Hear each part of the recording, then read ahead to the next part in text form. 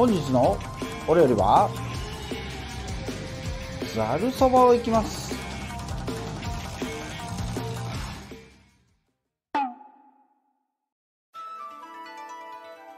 はいそれではですね調味料の方を紹介したいと思います。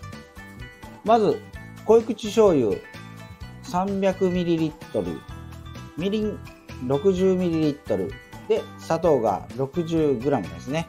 これを前回ですね開始っていう時に作ったと思うんですがこれを全部合わせて沸騰して、えー、沸かしたのが、えー、開始になります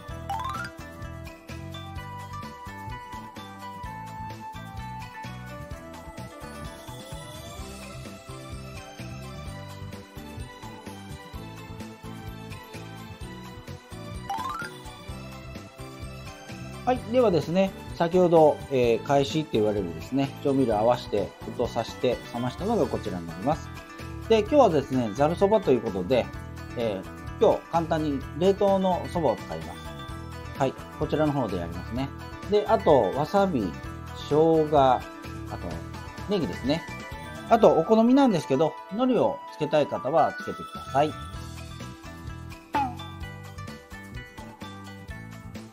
えっ、ー、と、皆さんはですね、沸騰したお湯に冷凍のそば入れると思うんですけど、僕はですね、えっ、ー、と、水から入れていきます。なぜかというと、もう湯がいてあるやつを冷凍してありますので、あの、沸騰したお湯に入れると、周りだけ溶けて、中がですね、溶ける前に、あの、柔ら、外が柔らかくなってしまいますので、水から湯がきます。では、湯がきたいと思います。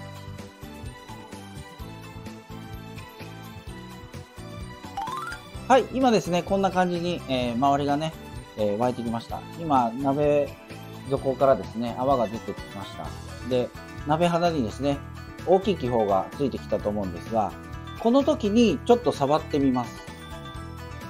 ざっくり溶けてると思うんですけど、ちょっと凍ってるとこがここら辺にあります。それが溶けたらもうすぐ、あの、お湯を切って氷で冷まします。はい、じゃあ行きたいと思います。お湯を切ります。で、この時点でですね、氷水の中に入れまして、手で混ぜます。はい、これでね、ぬめりとですね、えー、コシがある、締まってきますね。で、ざっくり冷えたら開けていきます。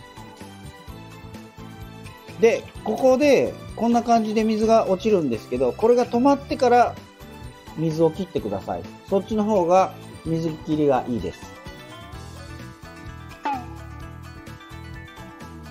はい、それではですね、えー、返しの出汁を合わせていきたいと思います。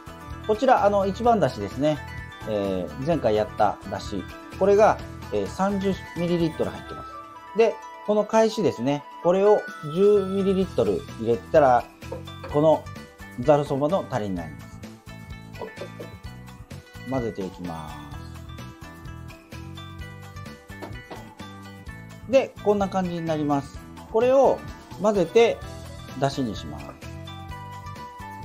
はい、それではですね、盛り付けをしていきたいと思います。こちら今、だしができましたんで、こういうですね、あの、そばのセットみたいな感じで、えー、あると思うんですけど、こういうのをですね、えー、ちゃんとあれば、すごい雰囲気が出ると思います。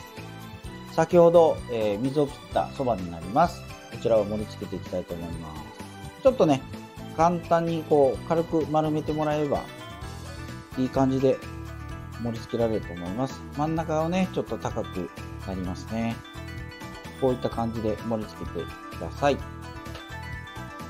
残りの調味料、ね、薬味乗せたいと思います。まず生姜ですね。はい、次にわさび乗せます。はい、次ネギですね。これもお好みで入れてもらって、こんな感じになります。で、最後にですね、えー、海苔。はい、これも、これもお好みで、こう、ちょっと散らしてもらえれば雰囲気が出ると思います。で、もしですね、暑い夏の時なんか、この周りにですね、ちょっと氷をこう置いてみるとですね、家でもすごくですね、あの、涼しそうに見えますんで、ぜひやってみてください。